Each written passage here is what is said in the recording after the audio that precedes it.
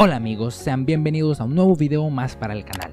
Como muchos se habrán dado cuenta, la banda de El Salvador ha sido convocada por tercera vez a participar en el tradicional desfile de las rosas en Pasadena, California. La primera vez fue en el año 2008 y luego en el 2013. La banda que nos representó es la banda El Salvador Grande como su gente, banda integrada por estudiantes de 52 municipios.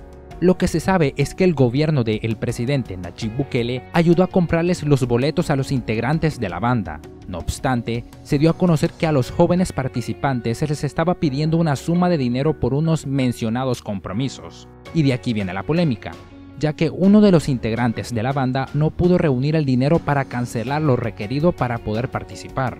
Sin embargo, recibió ayuda de miembros del partido Nuevas Ideas para poder viajar, y así poder participar en el desfile este primero de enero.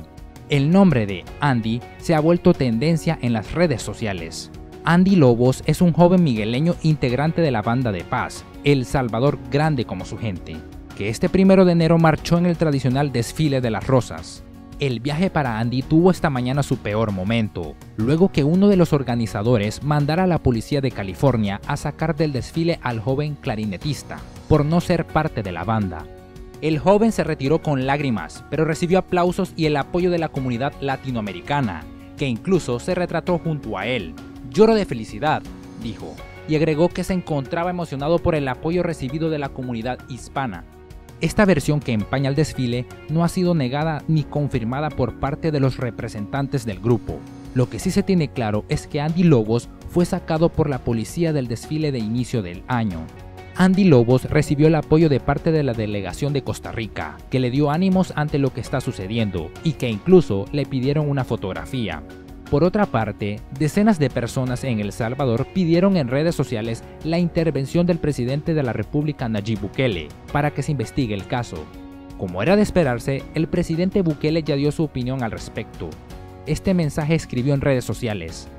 Sobre el caso de la banda El Salvador, grande como su gente, los organizadores de la banda El Salvador, grande como su gente, no volverán a recibir un solo centavo del gobierno, y estoy seguro que tampoco de la empresa privada decente. La sostenibilidad de la banda se volverá imposible, y el futuro artístico de cientos de jóvenes talentosos está en riesgo. Por lo tanto, el gobierno de El Salvador, a través del Ministerio de Cultura, creará la banda El Salvador, con suficiente presupuesto y patrocinadores para funcionar aún mejor invitamos a todos los jóvenes que actualmente integran la banda dirigida por Enot Rubio a que se inscriban en la nueva banda. El Salvador es un país grande por su gente, no vamos a permitir que nadie manche eso. Gracias por llegar al final de este video, no olvides dejar tu like y compartir el video. Díganme qué opinan al respecto de este caso en la sección de los comentarios. Hasta la próxima.